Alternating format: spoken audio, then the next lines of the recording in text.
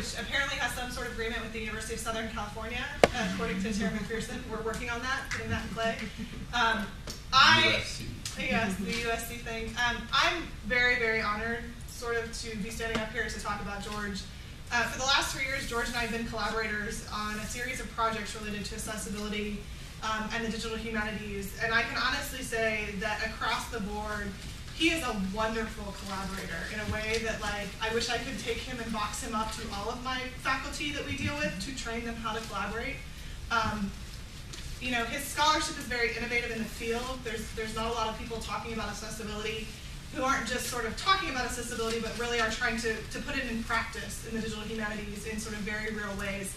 Um, and, and George is sort of leading the call, not just for digital humanists, but for humanists more generally, to sort of be attentive to issues of accessibility and to really think very clearly about where this sort of fits with their methodology and, and their practice. Um, and when I sort of decided that I was going to say something personal about George, um, it wasn't just about sort of his generosity as a colleague, but you know, at the end of the day, we're in this field because we have a belief that we can change things about how the humanities can answer questions about how we can operate.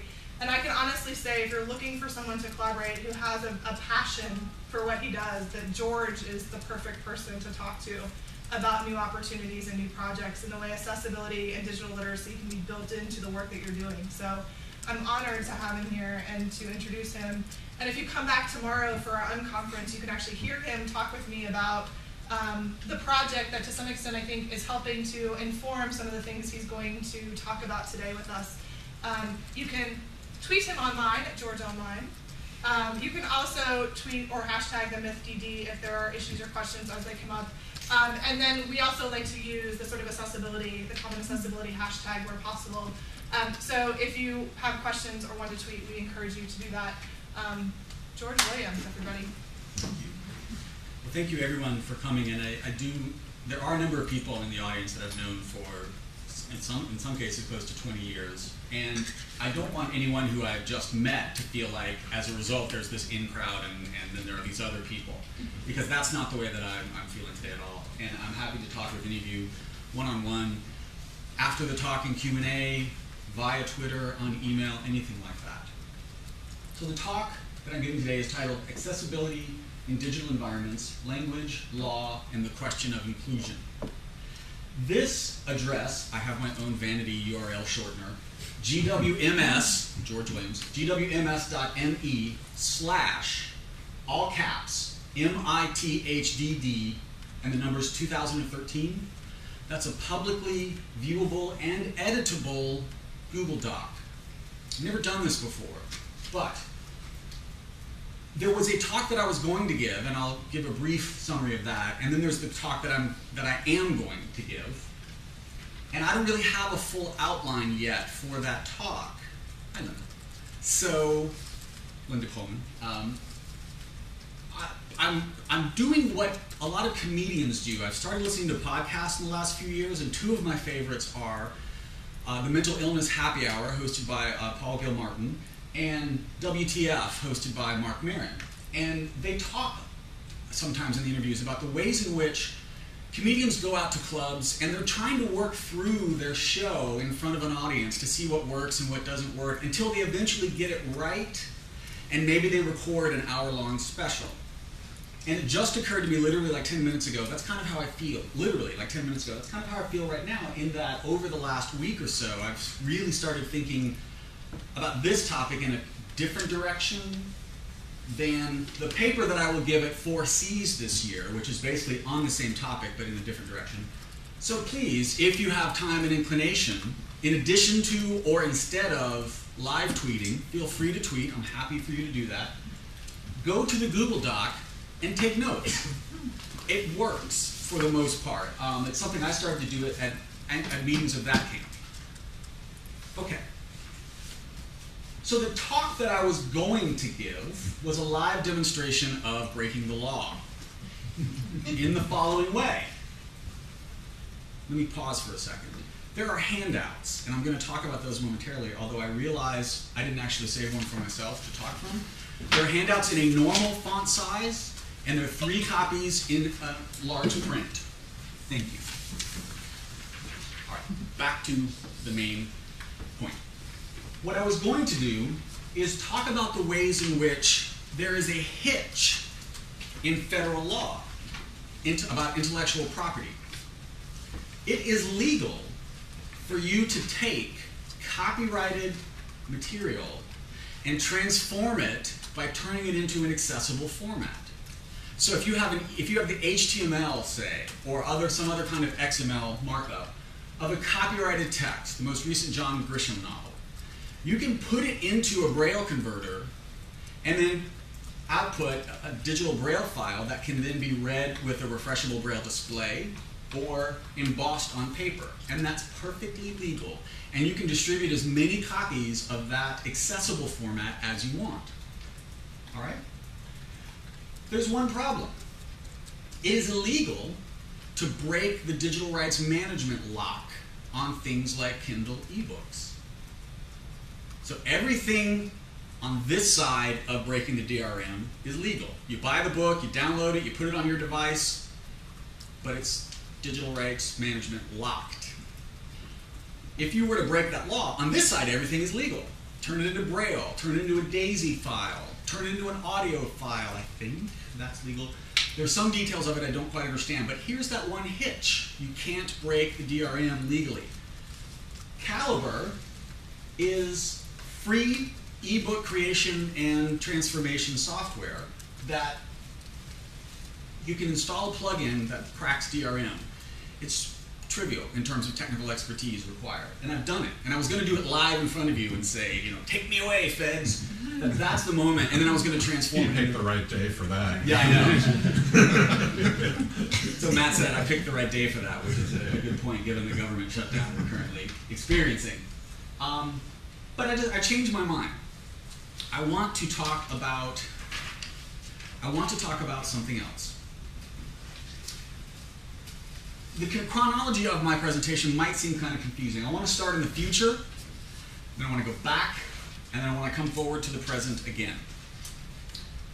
Before I do that, I want to draw your attention to the handout that I gave you. I am um, the newest member of the Modern Language Association Committee on Disability Issues in the Profession. And one of the things that we are doing this year is revisiting and considering what updates are needed for the access guidelines for MLA conventions, session organizers, and presenters. Now, not everybody here is from one of the disciplines that isn't um, covered by the MLA. Not everybody here is, is a professor necessarily. How many of you have been to the Modern Language Association and been to sessions? How many of you have seen session organizers follow these guidelines? My guess is very, very few of you. We are supposed to, every one of us, we are supposed to bring multiple copies of any handout that we use and three large print copies. Not just the handouts, but the text of your presentation, even if it's just a draft. That hardly ever, if ever, happens. Um, mobility, I think, is probably something that most, if not all, but most rooms are probably okay with. In terms of hearing, I'm trying to speak at a slower and somewhat more loud, in a somewhat more loud manner than I usually do, but I'm trying to speak loudly enough for people who are deaf or hard of well, people who are deaf can't hear me, but people who are hard of hearing. I'm not moving around, which is what I usually do, because there's a camera on me, and I don't want somebody who's watching the video to not be able to see the added information of gestures or facial expressions, or if my face were lit better, reading my lips. Someone who is speaking is not supposed to be placed in a darkened place so that audience members who are deaf or hard of hearing can read their lips. You are supposed to use a microphone, even if you're one of those people who says, I don't need to use a microphone, everybody can hear me, right? No, use the microphone. Um, and I'm not saying, and this is something we should feel bad about, I'm just saying these guidelines are here. We've worked these things out. So the problem isn't that we don't know what to do. The problem isn't that people with disabilities and organizations haven't yet come up with guidelines. The problem lies at the level of actually implementing the things that we all agree we should do and that aren't necessarily all that difficult to do. I've put that URL that used to be up there, I've put a great deal, and I will put more. I took this handout and I created it in a language called Markdown, which is a very simple markup language. And from Markdown, I exported it as HTML. I exported it as a Word file. And I think I exported it as, as one other thing. And if I'd, if I'd had a little more time, I would have created a Braille file from it. So you create the document once and then you transform it into all these other forms. It's online, you can download it, use it in whatever way is most useful to you. I'm trying to model what I think would be an ideal, accessible presentation, both in the physical space of face-to-face communication and in the digital environment of the online resources that one might share. Back to the slides. so I want to start in the future and work our way backwards. And remember, I'm like the comedian in the club who's still working his act out, so I apologize for any hiccups. Feel free to ask for quest- ask questions or for clarification at the end. This is the project currently underway involving a variety of people. It's called Accessible Future. You can find it online at accessiblefuture.org and on Twitter as Accessible Food because that's the only number of, you know, you ran out of characters at a certain point. Um, these workshops were Jen Guiliano's idea. The name Accessible Future was Corey Bohan's idea. These are two of my collaborators. People who were involved with this include uh, Jim Smith, um, and I can remember people's Twitter handles a lot of times and can't remember their names. Kirsten Keister. Kirsten Keister, who's a designer here at MITH. La- Lamppost, Creative, yeah. Creative Lamppost, Lamppost Creative on Twitter. Yeah. Um, Jeremy Boggs from Scholars Lab at University of Virginia will be helping with the workshop. Tina Herzberg, who's my colleague in the School of Education at USC Upstate, will be helping with the workshop. Who am I forgetting? The center, so Northeastern, Right. Emory.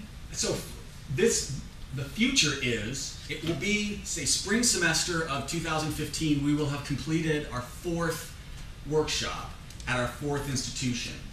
Um, and that will be, the fourth one will be at Emory University. Working back from that will be University of Nebraska-Lincoln in the fall of 2014. Spring of 2014 will be in Austin, Texas. And then later this semester will be Northeastern University in Boston, University of Texas in Austin, and then later this semester, Northeastern. The goal of these workshops is to bring people from a variety of audiences and teach them about how people with disabilities use digital information with an emphasis upon scholarly digital resources in the humanities. And two, to teach people here's what you need to do to make your resources accessible to people with disabilities. The goal is to create or to point them to free, open source, user friendly tools, and everything that we create associated with these workshops, from the design of the websites to videos of presentations to tutorials, all that stuff is going to be put online, available for free use um, with just attribution, provided everybody gets on board.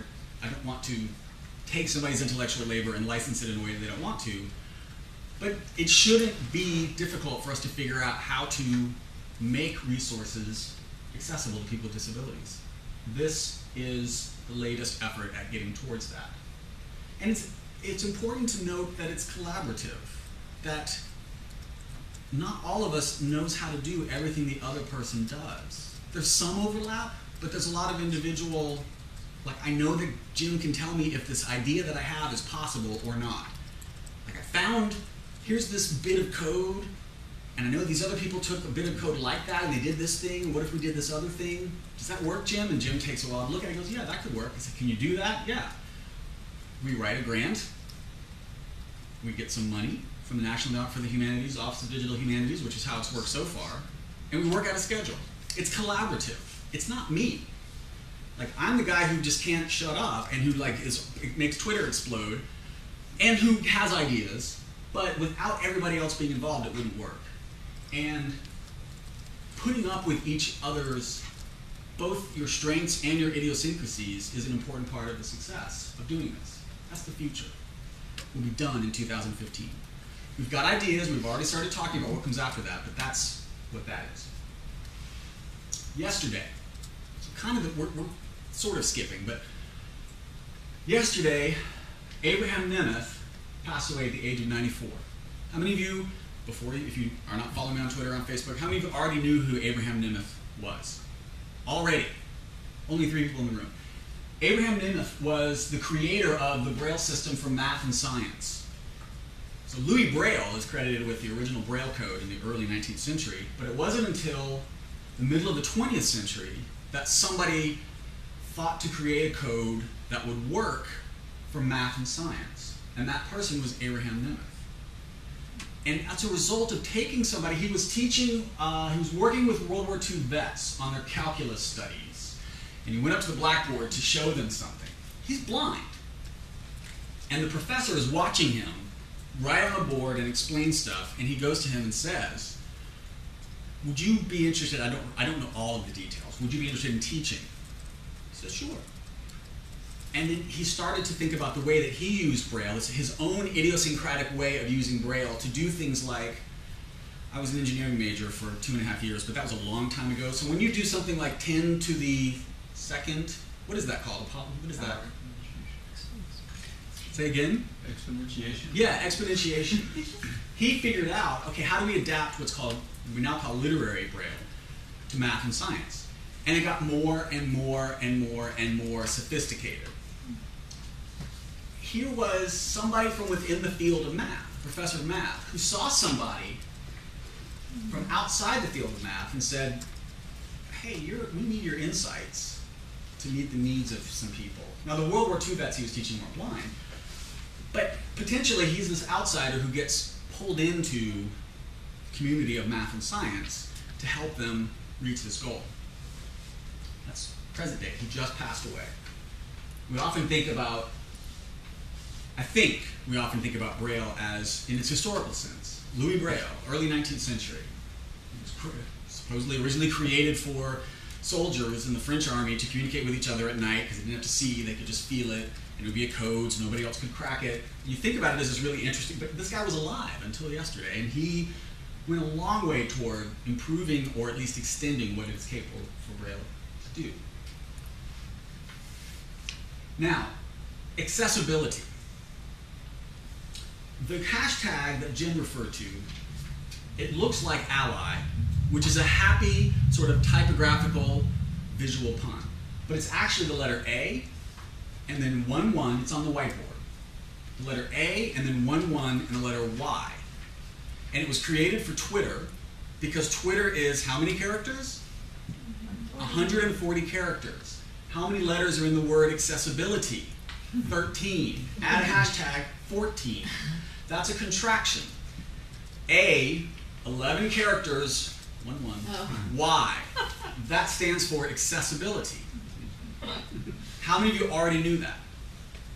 Right? That's like three people in the audience. And so when we talk about access, we talk, this is, there's probably more to it than this, but there are three possible meanings. You say, oh, that was really accessible. What you might mean is, that was understandable. I get that.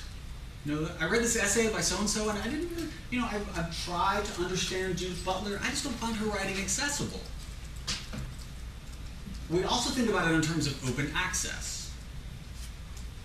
The open access movement, putting digital, often in our community, thinking about scholarly materials online, not behind a paywall, open access. Uh, we talk about access when we talk about the needs of people with disabilities. But there's also access in terms of power or belonging or being on the inside. You know, do you have access to the White House? Um, Abraham Nemeth, you know, having access to the community of math and science scholars. And these are things that I want us to think about today. These are things that I'm trying to work through today. Going back to the past, hard to believe that it was almost 20 years ago that I came to the University of Maryland as a first year PhD student. Fall of 1993, I moved here from Atlanta, Georgia. I rented a duplex, 5507 43rd Street in Hyattsville, Maryland, just down the street from DeMatha High School. Apparently very famous for football, high school football. I don't know, I don't follow that stuff. And it was just over there, like 200 feet from us. The first time I ever went on the World Wide Web. Nonprint Media Services had a bunch of computers. I was married at the time, and we were like, hey, look at this. This is kind of cool. That year was also the first year, and this is not something I've talked about before, but that was also, back in time, that was also the, the first time I was diagnosed with a mental, well, the only time I was diagnosed with a mental illness. And I don't identify as a person with a disability. I choose not to identify. I don't identify. It's not part of my scholarly identity. I've talked about it before. I talked about it at 4Cs several years ago. But not in terms of this is a disability. If I did identify as a person with a disability, one of the things that I might do is, because of the law, Americans with Disabilities Act, 1990, I could ask for accommodations as an employee. I'm a professor. I need more time to get to tenure. Um, sometimes I'm going to miss class because I can't make it that day. I've never done that. And the reasons are multiple. Stay with me. I know there are lots of threads going on here, but in my head they make sense. And yes, I know I just said mental illness, so it's okay to laugh at that.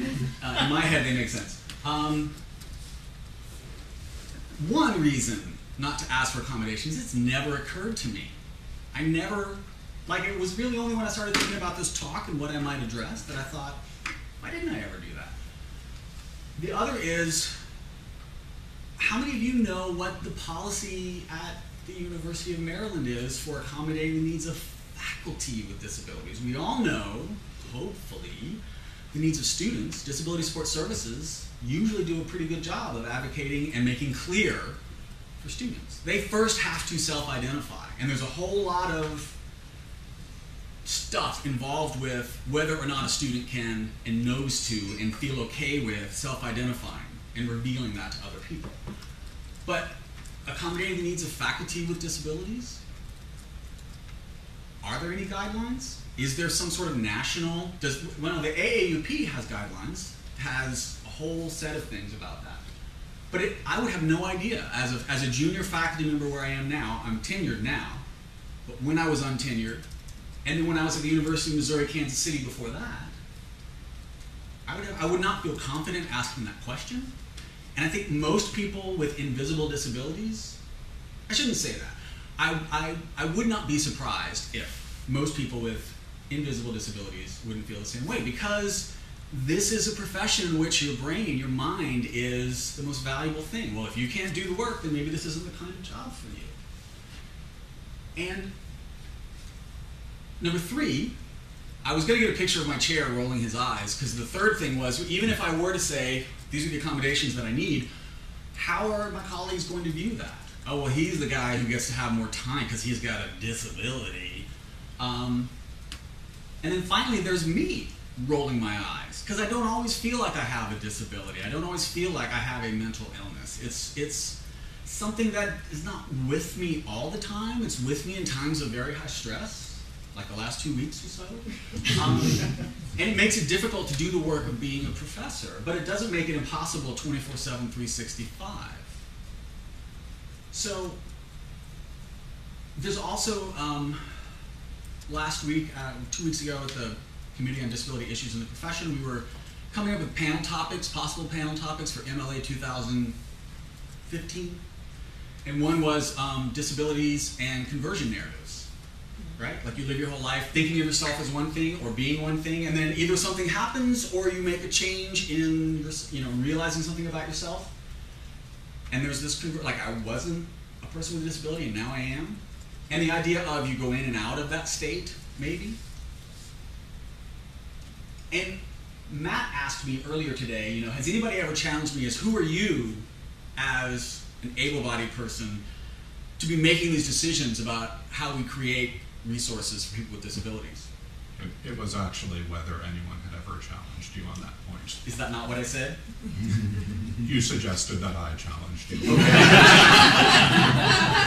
So Matt has pointed out my mistake. Matt said, "Has anybody ever asked you that question? Who are you as an able-bodied person to make these decisions?" And I said, "No, nobody's ever asked me that question. I've often thought about it, but people with disabilities are both an alliance, or many of them think of themselves as a kind of alliance, but they're also very like a deaf person and a person who is blind are as different from each other, perhaps, as a sighted person is, and sighted hearing person is from either one of them. Which is not to say that there is no such thing as creating an alliance, but the other answer, which I wasn't ready to give yet because I didn't want to give away the surprise, was yeah, I am a kind of a person with a disability, and it's a discursively constructed identity. And I'm fortunate that it's a mental illness that I get to control whether or not, right? I haven't been institutionalized against my will. I haven't been institutionalized at all. Um, but it's definitely something that is culturally constructed, and that two generations ago, four generations ago, my experience of life would be very different. If I were not a white male, my experience would be very different. This is not something that by itself inflects my experience of the world. And so it's that kind of empathy or understanding that I try to bring to thinking about when you create resources, what input do you seek from people who are not like you about whether or not the resources you're creating are being created in the best way for, to suit their needs? And are they involved in user testing? Are they members of your team who are helping create stuff? These are questions that I think every digital humanities project should keep in mind. Let's see where I was going next. Okay, so access as understanding. We think about academic discourse as being necessarily difficult, necessarily challenging. And if you don't understand it, maybe you don't belong here. And if I understand it and you don't, then I feel good about myself. And I'm not going to try to like spend my talk today overturning everything we know about academia. But if we want to acknowledge the needs of people with mental disabilities, should we rethink the way that we communicate with each other in intellectual terms, in terms of vocabulary, in terms of syntax, um, or in affective terms, in terms of whether or not you're upsetting someone with the way that you're asking your question at the panel at MLA when they were a grad student and you, and this didn't happen to me, and you raise your hand and say, this isn't a question so much as a comment. I think the problem with what you're saying is, and then the grad student at the front of the room feels this like lead ball in the pit of their stomach like you're not understanding that person's experience. You're not and i'm not saying be patronizing to them but lots of graduate students deal a lot with anxiety even when there's no you might think there's no need for them to do so. And i say this as somebody who spent time in grad school here sleeping on the floor of my basement at night because it was like this was the quietest place that i can actually sleep so access is understanding, like you're presenting material in a way that your audience, everybody in your audience, can get it. and the way to make sure that you're doing that is not to imagine for yourself what they need, but to seek their input. So I walked, uh, the folks here at MITH putting me up at the University Inn and Conference Center. It's a wonderful place. Um, and I walked over there, found out this morning, there's a shuttle. Uh, so I would have been a lot less sweaty if I'd known that, but um, I still think like an undergrad and like a graduate student and stuff. I'll just walk over there. Um, and I walk up to the back, and they're doing renovations. And I walk up to where I'm pretty sure I've gone in before, but I can't quite remember. Remember, you know, some kind of stuff going on in my brain sometimes. I can't, what? I've been here before. I'm supposed to go in here. These doors are locked. There's a sign with an arrow that points to the right, and it says, use the such and such circle entrance for the front entrance. I don't know what that means because I don't know where the such and such circle is. I don't know where the front is. They're trying to give me access to the building. They know where the front of the building is. They know where that circle is. And they think that that information plus an arrow is enough. If you're the first time, if that's your first time going there, that's not enough. And there are ways in which both the way we write our scholarship, the way we build the navigational elements of our digital projects make sense to us because we built it, or because we've painfully, painstakingly figured out, oh yeah, that's what this is, you know. there's a point at which you can there's a point you can reach where you say, yeah, I know Judith Butler says stuff that's really important and influential. I just that's not my thing. You know, I'm not going to dismiss her ideas. I'm not going to dismiss Zizek. I'm not going to say that people who find that stuff important and influential are wrong. I don't have to. I'm not. I don't need to. But no, I'm not going to try. I'm not going to spend all weekend trying to understand a 20-page essay by it because I can't. I'm not going to understand it.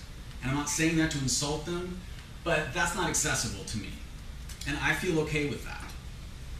But when you're somebody who's a grad student or an undergrad and you're still trying to prove yourself, you don't have that privilege yet.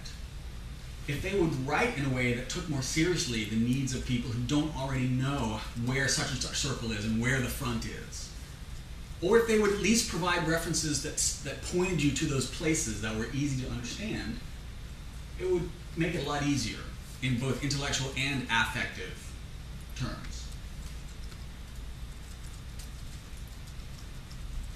Access is open access. Here's where digital humanities, in my opinion, and humanities computing, what it was called before then, have been great. So much of what we create. In fact, the, the default, it's assumed that you put it up online, it's not behind a paywall for the most part. You know, you don't have to pay money to, you don't have to subscribe to Romantic Circles. You don't have to subscribe to the Blake Archive. It's, it's open, right? And there are a lot of new journals coming along that are open, they're born digital, open access.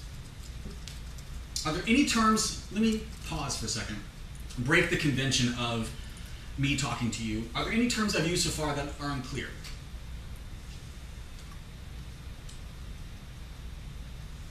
Am I using affective in a way that makes sense to you? Because it's entirely possible I'm using it wrong.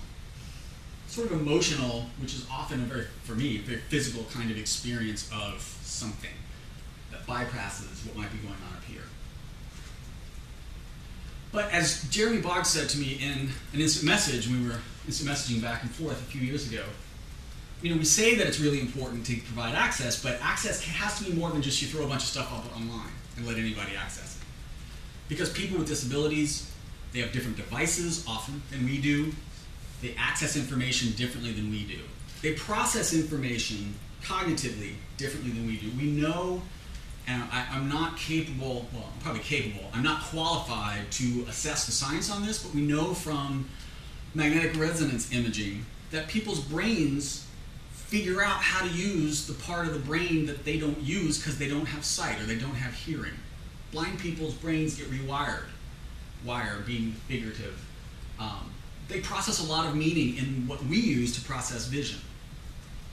So how I access, how I know how to listen to things is very different than how a blind person knows how to listen to things. The, and I'm not trying to repeat the sort of, you know, the superhero Daredevil, who's a Marvel comic superhero who is injured in an accident and exposed to radiation, all of his other senses get heightened because of that. That's not the argument that I'm making. Um, and there are ways in which that's kind of offensive. But when I listen to, and I read about this in the chapter that I wrote for um, Debates in Digital Humanities, when I listen to a blind person using a screen reader, screen reader is software that they use to read the text in front of them. I can't understand it at all because it's going, you know what I'm talking about it's going about five times, sometimes more, faster. And what I say, what I point out in my article is, in that scenario, I can't understand, and they can, which one of us is the person with the disability. It's about how the information is presented that actually makes this kind of discursively constructed this person is disabled, this person is not. So we don't do a great job of making the digital resources that we have created accessible to people with disabilities. If we did, it would be better for all of us. How many of you have ever gone to the Blake Archive? Never. That's half the people in the room.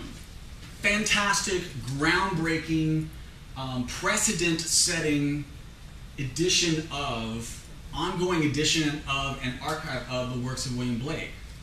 But the interface, here's what's heartbreaking about the Blake Archive. It's got all the metadata that would make it an incredible resource for blind people because it describes in text different parts of all of these Blake prints. But when you get that text, it's presented in an inaccessible format. It won't work with screen readers. If it's not the interface, it's not the part that you're looking at that's working. Like the stuff in the back is all fantastic. If they could just rework what's getting at you, it would be amazing in terms of accessibility. All that metadata is there. And this is why I think the digital humanities is uniquely positioned along with information science to really tackle this accessibility for people with disabilities. And it's a big part of it is structured documents and metadata that I can't see the image, but if you can describe the image, I can understand it. Um, I can't see the headings and subheadings, but I have software that speaks to me and I can tell it, just read to me all the heading level ones. And it will jump on those and I'll say, okay, stop there, I want to hear that section. Read to me all the heading level two, stop there. Now the heading level, like, I can, if I'm a adept screen reader user, I can use your structured documents to navigate your content. And we're great at that in the digital humanities. Like, we're obsessive about that. Um, but we don't quite get it right. So access means open access, but there's more to it than that. You know, this is, sorry, I should have advanced the slide. Access as accessibility. Um, we're not quite there yet. We're getting there. I'm amazed at, you know, we had some meetings this morning about rolling some of the stuff that we've, and I, I use we loosely, because I feel mostly like I'm just kind of hanging around while all these other people are doing stuff, and I put in suggestions, but that's just, you know, that's just, it's, collaboration is not something that we're used to thinking about. And I know people say this, I've been saying this for years and years and years. Ideally, a collaborative process is one in which everybody feels like they're making a contribution. And I'm still getting used to the idea of I had this idea and I asked a bunch of people if it would work and they said yes, and I asked them if they would want to do it and they said yes. Am I part of the team? I, you know, Nick. Yes. Okay, thank you. So Jen says yes. Thank you. I don't like this metaphor, but I often think of it. How many of you have seen the movie or read the comic books, The Avengers? They've all got superpowers for the most part. Nick Fury, the guy who brings them all together, he doesn't have superpowers. He's cute. He's cute. He's badass. There you go. I like to Superpower of me. yeah, I mean, I like to think of myself like I'm the Nick Fury. I know a bunch of people with superpowers, and I know stuff that needs to get done, and I can help them figure out or conceive of projects. But then there's a certain point at which, like, I can't do that other stuff. And that's awesome to me. I don't think I could have had the career that I've had if, if that weren't the case. And part of that is because of the way that my brain works. Um, access as power or belonging. I've spent a lot of time thinking I don't belong here. Um, when I came to Maryland, I was married, and my wife at the time had an assistantship, and I didn't. We had two cars. We sold one. I used that to pay for my tuition, and she got. To, and I'm not complaining. I'm saying this is how I reacted to stuff. She was meeting her fellow grad students. She had, you know, there was this sort of like Beyonce says, and I've used this joke before, if you like it, then you're going to put a ring on it. Like, if you really value, usually that gets a laugh. If you really value, thank you. Like, money is the thing that, that really, yeah, and there's a whole, I understand, you know, problematic with using that metaphor. But if you go to grad program and they say, yeah, we really want you here, can I have an assistantship? Well, maybe next year and, and I over probably overreacted in terms of I need to prove myself, I need to prove myself, I need to prove myself. Getting the assistantship eventually the following year didn't help, didn't make me feel like I belonged. Um, getting a fellowship, having a whole year to work on my dissertation that was competitively awarded, that didn't help. Successfully completing my dissertation didn't help. Landing a tenure track job didn't help. Um, getting tenure, which I've done now, it, it's helped a little bit, but it hasn't gone as much as I thought. Um, but the things that have been helpful to me, the things that have made me feel like I belong, have mostly been the kinds of things that people have said to me over the years. So there are lots of things, you know, sort of moving forward. Remember the chronology: start in the future, present, go back, work our way forward. When I was on the job market, there are lots of things that I could quote. Um, when I was on the job market and I, I had a interview somewhere, campus interview somewhere, interviewed at MLA, flew to the campus, I was one of three finalists, and I didn't get the job. And I remember Matt saying this. He said, Well, it's their loss. And it really surprised me. Not because I thought, you know, Matt's usually a jerk. It was just like, I never thought of it that way. Like, I've got something valuable, they're not going to get it. That really stuck with me. That helped me feel like I belong here. By here, I mean like in academia. It's kindness from people.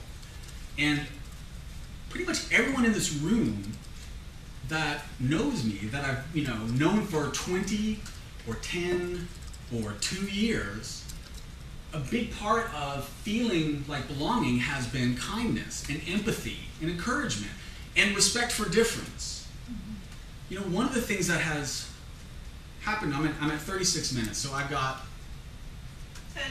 okay, um, I'm, I'm watching my time. I miss deadlines. Once you publish some stuff, and there's a Venn diagram that's out there, and on one circle is disability studies in the humanities, and the other circle is digital humanities, and at the intersection of those two circles is you. People invite you to give talks, and I feel like that's a. I'm stressed. I'm not like I'm. I'm just pointing out what seems obvious to me. And I've canceled at the last minute uninvited talks. I've missed. I've you know been invited to be on panels with people and just freaked out the day that the stuff was due. Um, and people have been okay with it. Nobody. I didn't get fired.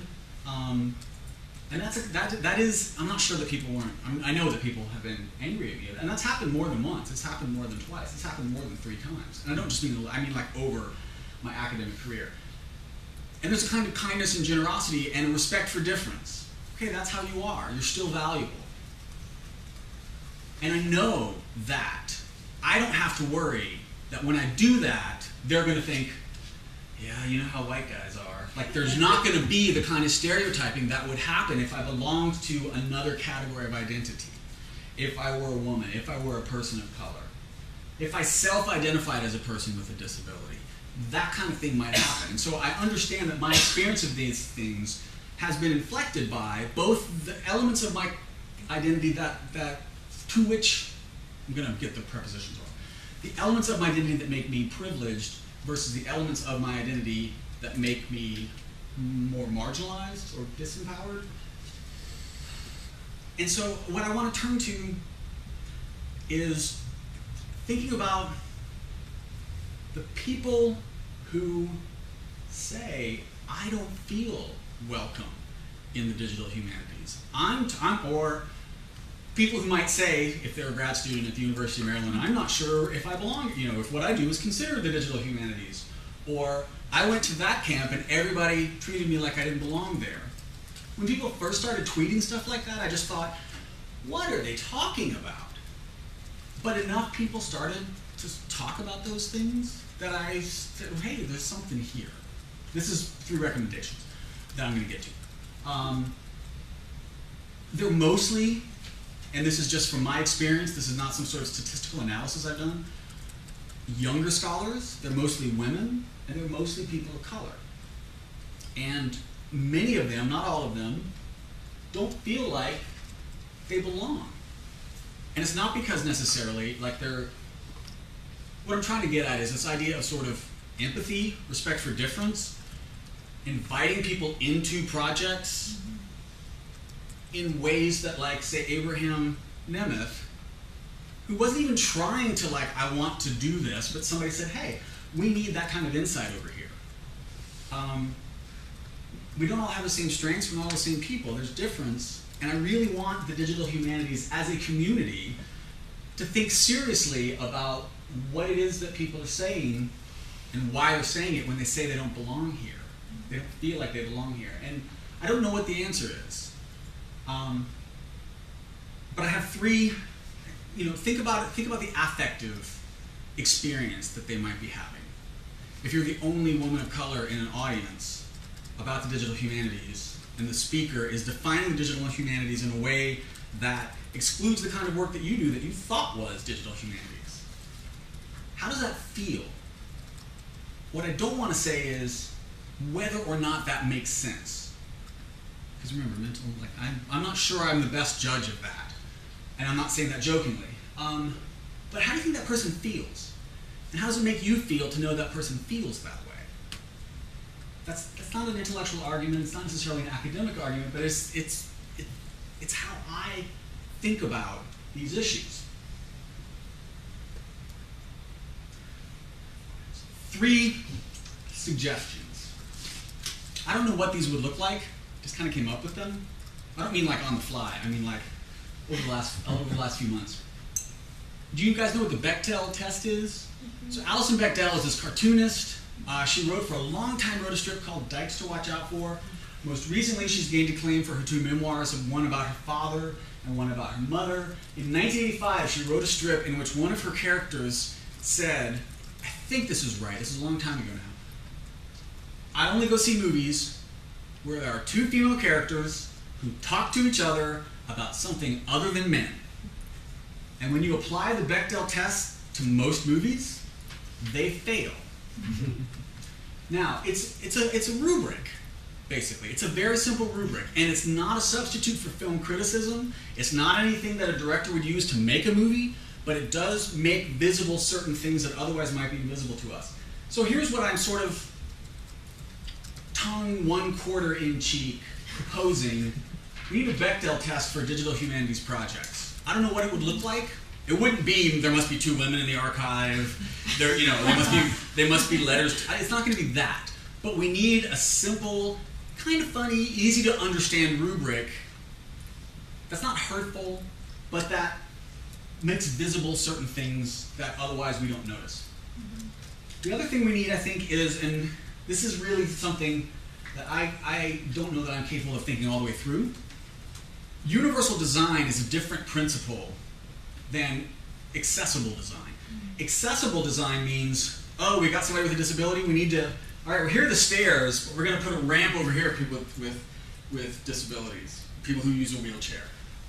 That's creating an accessible entrance to a building. Universal design is creating, and this applies to all kinds of things, you're creating something so that it's usable by everybody. People who are who have a disability, people who don't have a disability. It's aesthetically pleasing, and it's not more expensive, but you're not singling out people saying, oh, you need this, here you go. So there's universal design for the built environment, which is an architectural term that I talk about in the article that I wrote. Um, I argue for universal design in digital humanities environments or in digital environments that it improves the environment for everyone. But we need something like universal design for discursive environments. Anybody can enter.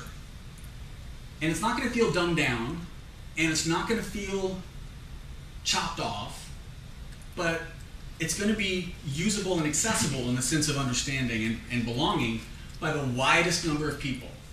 Univer- I think this is pretty smart. I don't know what it's going to look like. Universal design for discursive environments. And then finally, um, got like 50 seconds.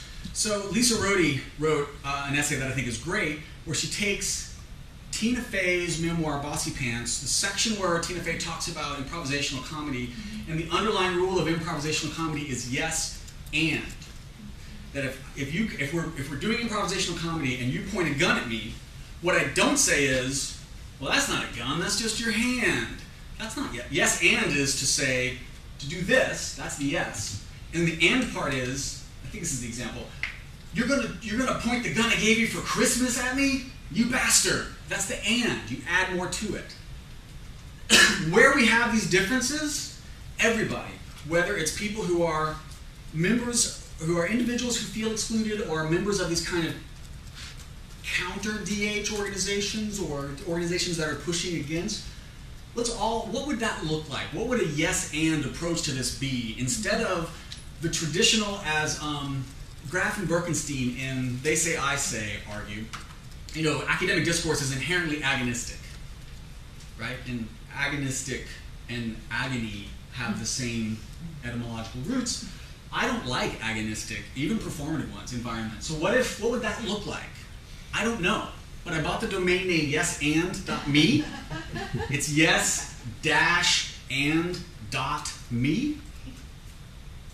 Ten bucks. I have hosting stuff. We could build something if we wanted to. It wouldn't be affiliated with any existing organization, but it could be.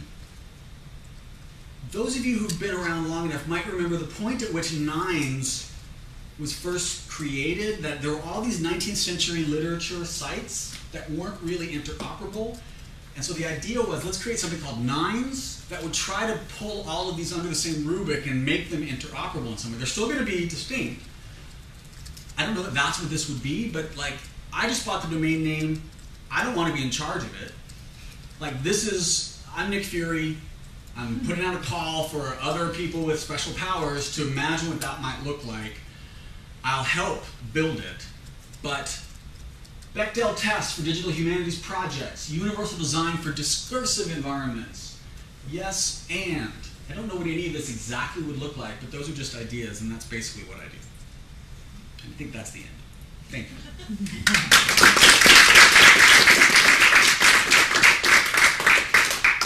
Questions, comments for George?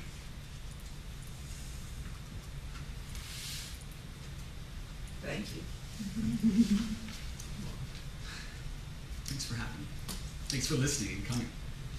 I guess those things happen.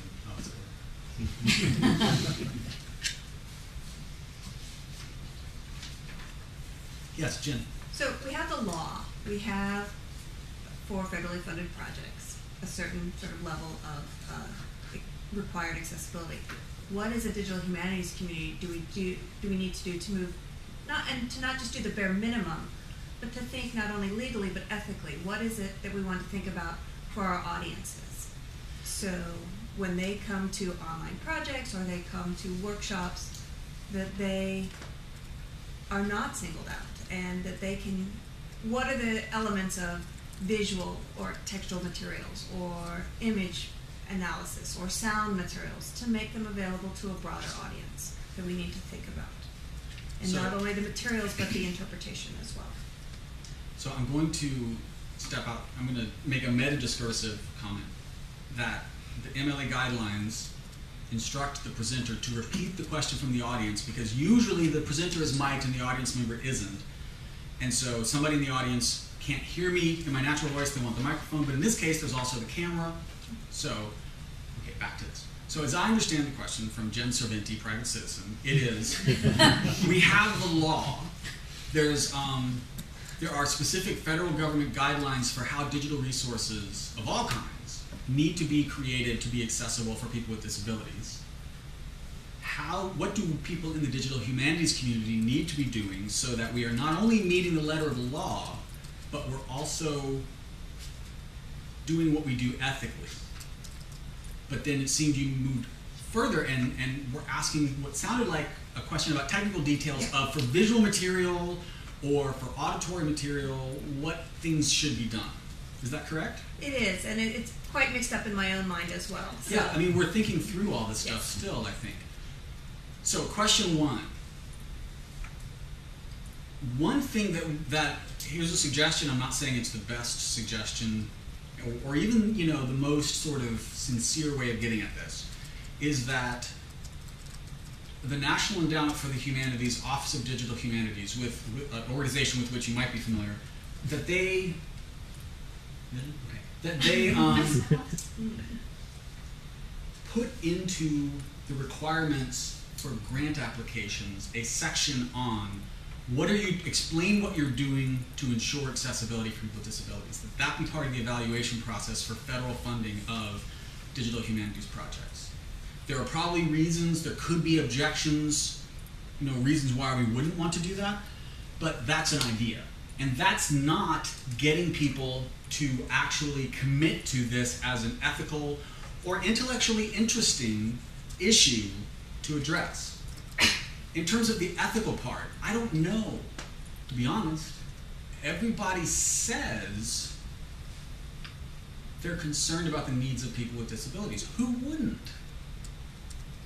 And yet, there's that. Um, I always forget.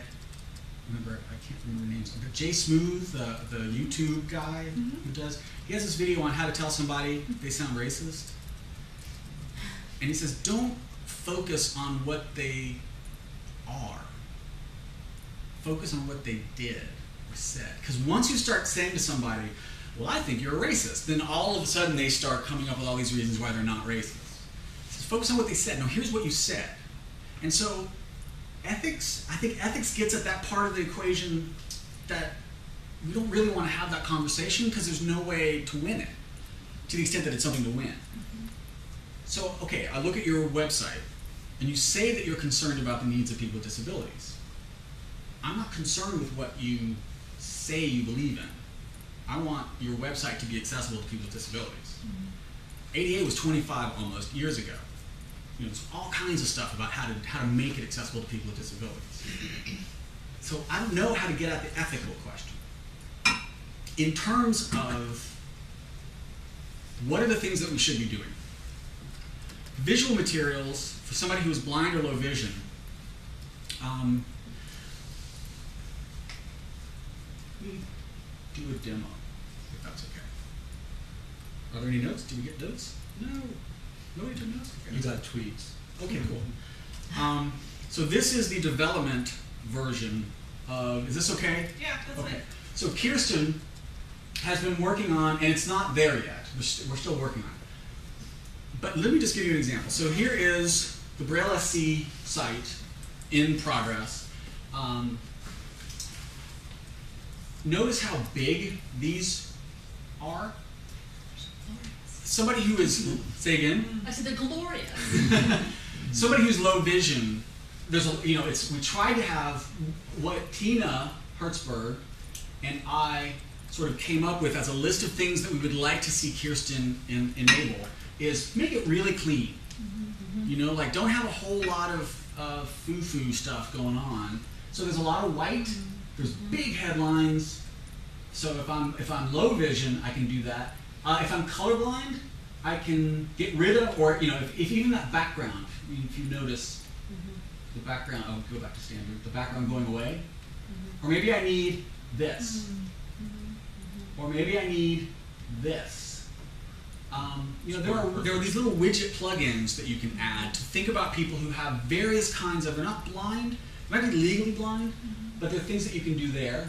It's Um, sans serif too. The font is that deliberate? Um, The, yes. Yeah, uh, you know, my off the cuff answer is I'm pretty sure that sans serif font is more readable on a screen, certainly for people with, you know, um, who are blind or low vision. And when I say blind, you can be blind and still see. Uh, you can increase the font. Now, people often say, well, can't I do that in the. So, increase the font does this. Blow it up, blow up the font, blow up the font. Notice what's not getting blown up the images. Because, go back to standard, uh, default. If I do this, this is what people always say, and they have a point. Don't you have that in your in your browser? Sure, but when I do that, Yeah. it's it's more complicated. The layout gets screwed up. Um, this is also a responsive design, meaning I should just look at it here. Um, if you look at it on your computer, it looks like this. But if you looked at it on your um, iPad, it would look like that. See that stuff that disappears? There's all that stuff in the upper right. It turns into a couple of drop-down menus. This is responsive design. It's um, the guy who came up with this concept is Ethan Marcotte, and his uh, he's Beep on Twitter, um, and he writes for a list apart. He wrote a book on uh, responsive design. And then as you get smaller and smaller, if this were your phone, you notice how that image gets smaller. We want to make those things. Um, so those are some things there.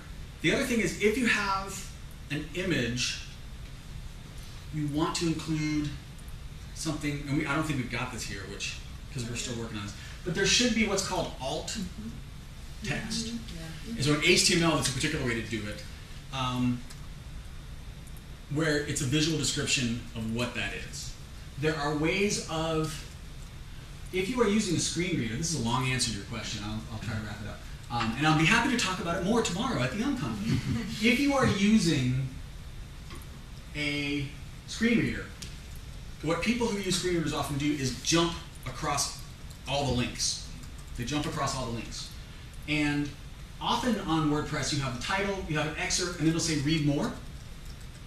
So they'll re- they'll be jumping, read more, read more, read more, read more. They have no idea what's on the other side, and there's a mm-hmm. way to tweak that code so that it mm-hmm. tells you if you want, you know, somewhere. If you want to read more about this topic, then go here.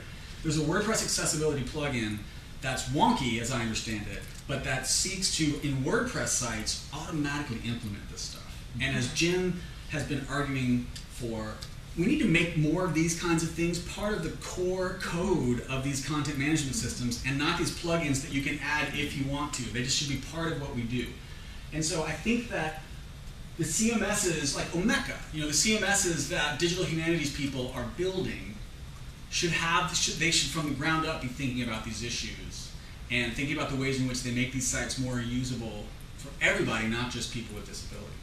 Mm-hmm. If you, and then I'll stop, if you go to accessiblefuture.org and you click on readings, this is a whole lot of stuff that might help you understand how this stuff might work. These recommended texts, and then this stuff, um, I'm going to work on getting this stuff a little better organized. But accessiblefuture.org slash readings, there's a whole lot there about these are things that we need to do. And the essay that I wrote that's in digital, sorry, that's in debates in digital humanities, um, I make three, I think these are three good projects that people could take on. I think one of them is the Braille translation software that we've already created, but I'm not entirely sure about that. Um, so hopefully that's, a, that's an answer to your question. What do you think? Thoughts? Well, alt text is often very minimal. Description in the humanities is long. Yep. Where's the, how do we bridge that or address that tension? So alt text, and I'm repeating the question again. This is another question from Jen Serventi. Alt text in most web pages is minimal. This is a picture of a dog. In the humanities, we would want it to be as rich as possible. This is a picture of a dog sitting on a blue couch.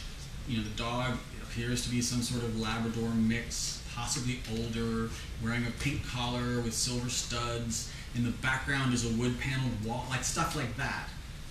I don't know the answer to that question, but that's the kind of question that every single one of us should think not just, oh, I better think about the needs of people with disabilities, but also, what a fascinating question.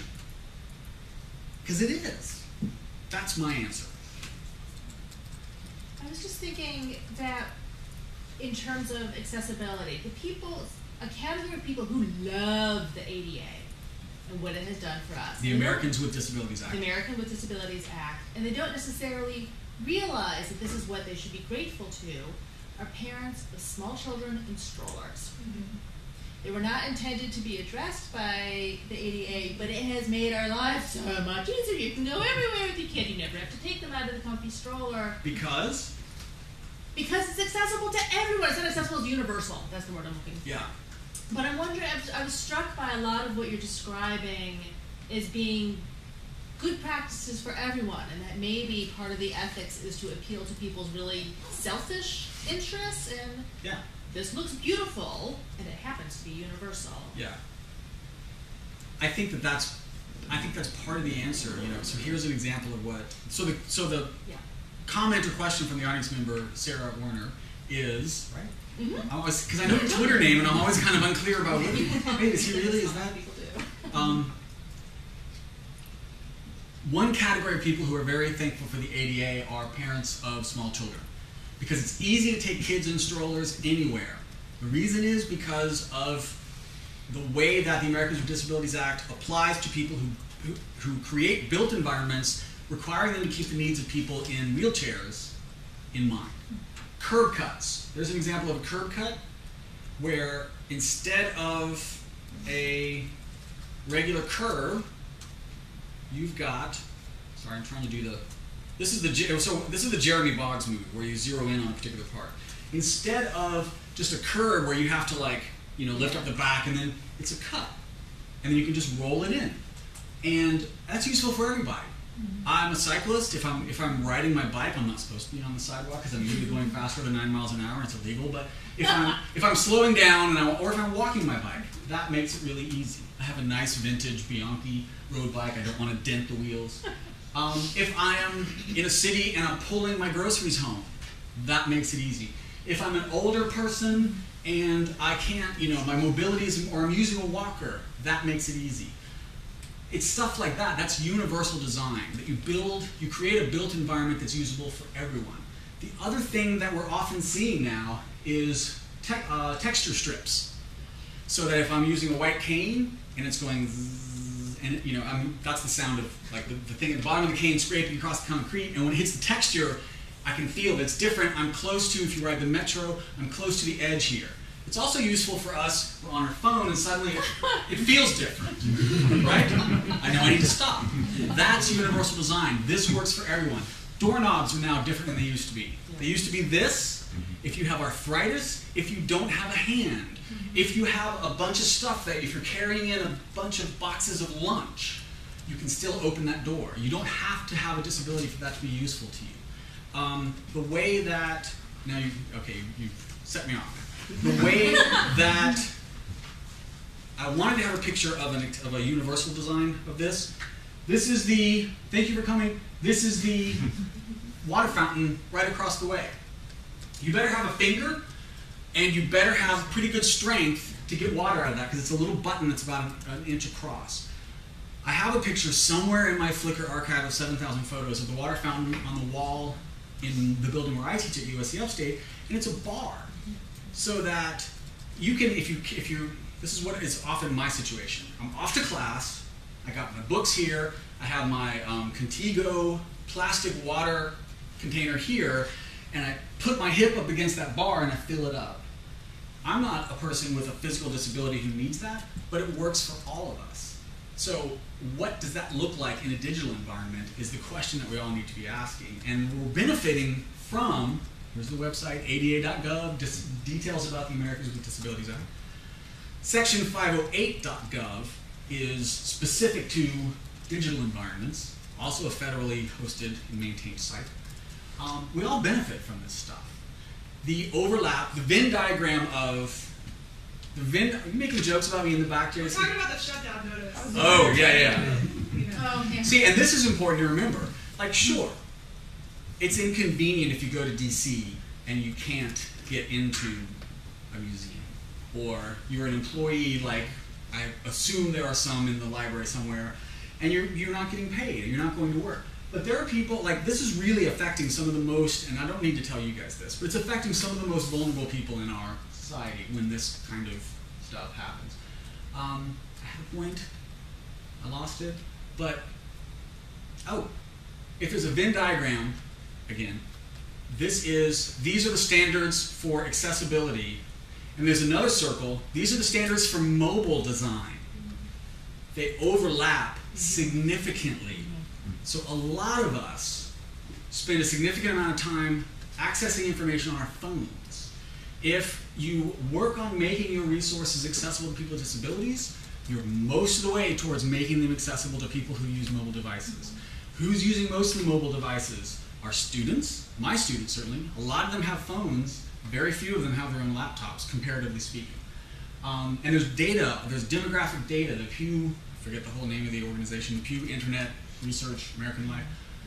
There's data about people from um, Latino, Latina communities here in America and people from African American communities who don't necessarily have high speed internet at home, they don't necessarily own their own computer. Their primary mode of accessing digital information is their mobile device. You're making stuff accessible to people with disabilities, you're also making it accessible to all of these people. I didn't realize there'd be a soapbox back here. We're just about at the end of our time, so if we've got one more question. Sure, I just, uh, kind of building on both the last two questions. So you talked earlier about how structured data is something that digital humanists are, are particularly good at working with, that we, that we uh, work on, and we have the expertise here. But we also know a lot about the limits of structured data, especially you're working with things like TEI and whatnot. And I'm thinking, for example, of Laura Mandell's project where she's having, you know, she, she creates multiple readings of, of one text, right, in order to sort of expose the nuance of the argument in each text, right? So that's that's sort of the limits of structured data running into sort of a, a strategy for accounting for that. And I'm wondering if there are other strategies that you know of or can think of where that, that might, you know, building on Sarah's point of like sort of like let's uh, get to sort of our own innate basic selfishness and, and uh, approaching questions that interest us, you know, glo- you know, each, each individual's research uh, agenda. So are there strategies that exist in, in this question, this core DH question of managing structured and unstructured data and nuance in humanities materials that we can use then in basic principles of universal design. Does that make sense? I think so. That we're running. So in other words, so it's um, question from Jason Rhody, private citizen in the audience, about if curb cuts and doorknobs and these other things are examples of universal design that benefit a much larger audience than just people with disabilities. And building on the point I made before about how structured information, structured documents are really nicely navigable for people with disabilities, depending on the technology they're using. How does attention to the needs of people with disabilities or thinking about those design issues help us get at what we already have recognized as the limitations of our current models for creating structured documents? It's almost that except to reverse it in the sense that how does our understanding that structured documents are no longer uh, exactly suitable to recognize the nuance of humanities materials? Okay. And we need to move beyond those, and we're developing strategies for moving beyond those. Okay. How can we then use those strategies to enable structure, uh, uh, accessible design? So let me rephrase that, just make sure, and this is helping me understand it.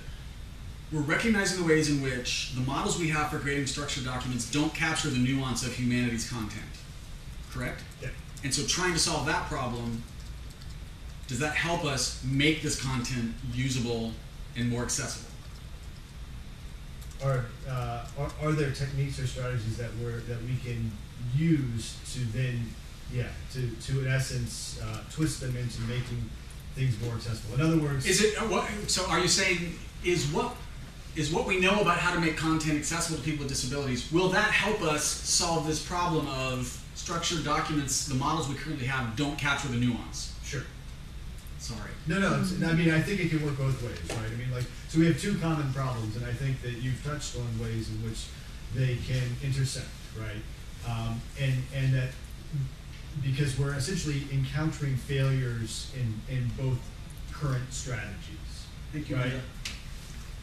And so I'm wondering if, if you've in, if you've run into or, or seen projects that you think are dealing with this question of structured and unstructured data that because it seems to me that unstructured data is where accessibility is really limited, right? Like Yeah. You can't look at a, a, a cluster uh, uh, cloud, you know, a, a, a hairball visualization and make that accessible very easily, right? You can't if if yeah, not really, no. You, there, so there are lots of things that we do that in the digital humanities where we're presenting information that's based. We're thinking primarily that somebody's going to look at this. We're not thinking, well, how is somebody who's going to listen to this going to understand it? Because we don't know how people who listen to information do stuff.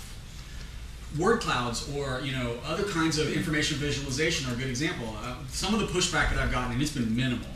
Most people go, "This is a great idea," but somebody pointed out, "Well, not everything needs to be accessible. Like you know, an information visualization isn't doesn't need to be made accessible to somebody who can't see." I'm like, yeah, you're missing the point. The point isn't visualization. The point is here's a massive amount of information that you're trying to present to somebody through one sense. Yeah. Doesn't matter if it's your eye or your ear.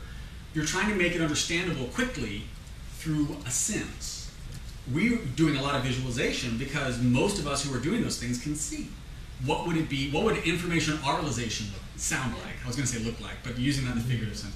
I'm not answering your question because I don't really, I'm not sure I grasp it, not because you're not explaining it well, but just because it's just not clicking. But here's something I'm thinking of. And I know you say we have one more. All right, One let more me- minute. Let me just say this quickly. TEI marked up text would be great for being converted into what's called textbook braille. Textbook braille is more sophisticated, well, I shouldn't say more sophisticated, it's different and it allows for different kinds of information, metadata information, than contracted braille, which is the tool that we have built this year. Um, in that it'll identify like this is a speaker, Romeo, that's a speaker. Here are stage directions. Okay, now we've ended this scene, and we're moving to the next scene. Like TEI does that. If somebody could build the translation tool that would take TEI text and turn it into textbook braille, that would be huge. That's not getting at your question. This might get at your question. We used to have this philosophy of web design that fell under the category of, and this is Wikipedia, which as we all know is never wrong, that fell under the category of fault tolerant design, which was make sure your web pages gracefully degrade. You create this really fancy detailed web page, make sure that if somebody looks at it on another device that it degrades gracefully and it still works. We're now into an era of progressive enhancement. Start at the level of this should work on the simplest device, and then progressively enhance so that these other. But if, if I can't get it here, you've got a problem. That doesn't really answer the question. I want to talk to you about it more, and It, it actually, I think, nicely pinpoints the, the, what I was looking. Wow. so Jason tells me that he that, that nicely pinpoint, pinpoints what he was looking for. I'm glad. I just kind of stumbled into that. What a great way to end. Thank you all very much. But thank you.